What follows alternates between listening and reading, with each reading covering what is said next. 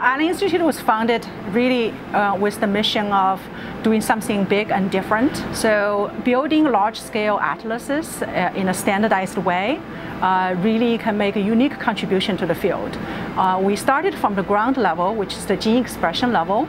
Uh, the next stage is building a large-scale connectional atlas understanding the uh, connections um, between different brain regions and different types of neurons uh, is one of the few really critical steps towards the understanding of how brain computes information and uh, use that information to guide behavior.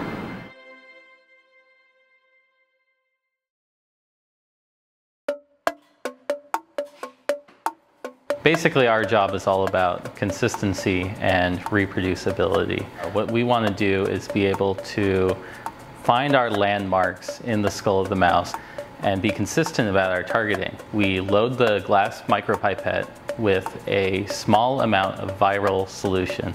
We use this um, novel viral strategy using uh, viruses that express uh, green fluorescent protein at very high level and we pass a small current through.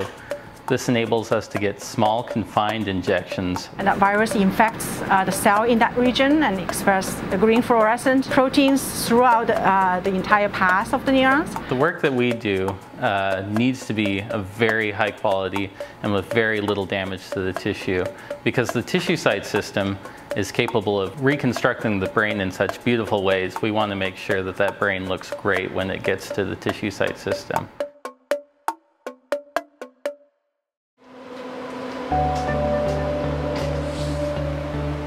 Each whole brain is embedded into, into agarose and it cross-links with the brain to create a semi-solid matrix. The embedding protocol allows us to place mounted brain onto the slide and section it and image it at thinner slices.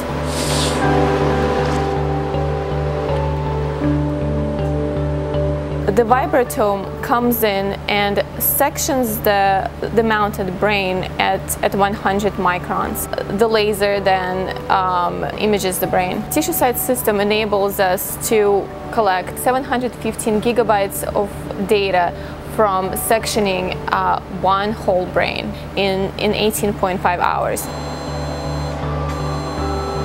So we section the whole brain uh, relatively fast the data is then transferred into LIMS for processing and annotations.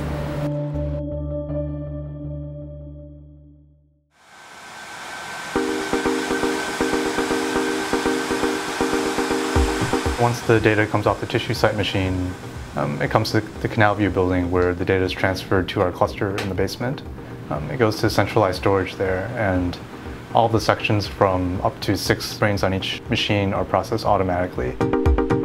Once stitching is complete, the uh, images come to the annotation group. The first step is to look at each of the sections in the image series and look for any of the various scanning artifacts. On this particular image series, the injection is in the cortex, and I can see a small green dot on uh, that spans five or six sections. So we pull up the section in Photoshop and then find a matched, matched atlas plate and then copy the data section paste it over the atlas plate. Once I get a good match, I can see that this injection has occurred over the dorsal anterior cingulate and the secondary motor cortex. Input the injection structures. My next step is to draw polygons over the injection site. And this allows uh, the segmentation algorithm to differentiate between injection site signal and projection signal.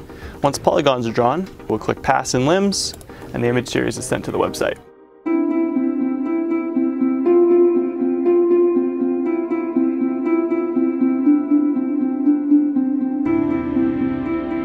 Not just images. You know, I think that's the one of the most exciting things about the Allen Institute atlases is the informatics that goes on top of the data because it allows for you to mine the data and to see the data in a framework that actually works better for your brain.